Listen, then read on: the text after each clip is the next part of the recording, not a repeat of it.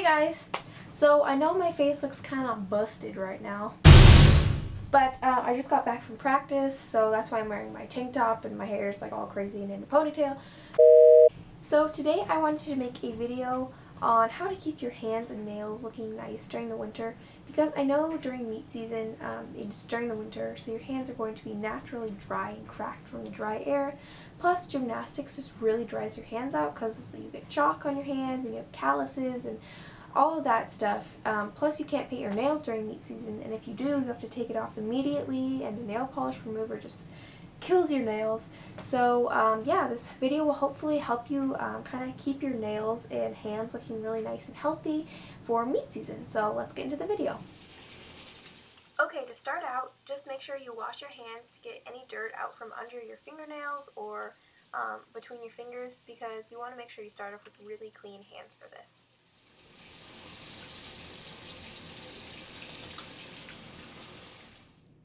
Next, take an exfoliating scrub. You can either make one or buy one for really cheap and just gently wash your hands with it in warm water. You don't want to scrub too hard because um, since it is an exfoliant, it can kind of cut and scratch your hands and you don't want that. You just want to get rid of all the dry skin. So make sure you massage it around the especially dry areas, but be very gentle. After that, start filing your nails. If your nails are especially long or ragged, Make sure you cut them, but mine weren't too bad, so I just filed them to kind of help smooth them down and shape them nicely. Next, take a really moisturizing hand or body lotion. I used this really nice Shea one from the Body Shop and get quite a bit of it and just massage it really, really well into your hands. Even if you got a lot, that's okay. Make sure you get it all into your hands because you want your hands to soak up all of that moisture. You want, you can use a little bit of Vaseline on your hands. This stuff is optional. Um, but if you have any spots on your knuckles or fingers, or if your cuticles are kind of dry or you have a lot of hangnails, you can just massage a little bit of this in and it'll really, really help moisturize those spots. Okay, now that your cuticles are all moisturized, uh, start pushing them back gently. If you have a cuticle pusher or a cuticle trimmer, you can use that. I just didn't have one, so I was very, very gently pushing back my cuticles.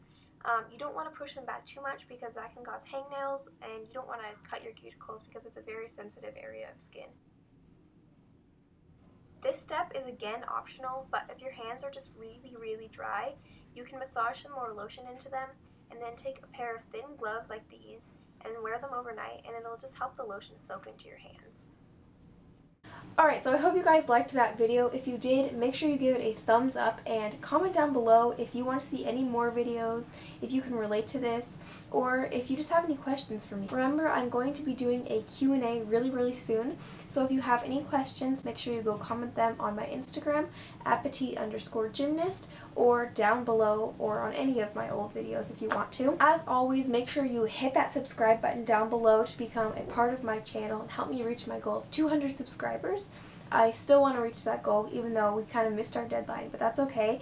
Um, I still want to re reach my goal, so if you guys can help me, please, please, please subscribe. It'll only take a few seconds, and then you can watch all of my incredible videos. Alright, so I hope you guys liked today's video. I hope you have a great day, and I'll see you in my next video. Bye!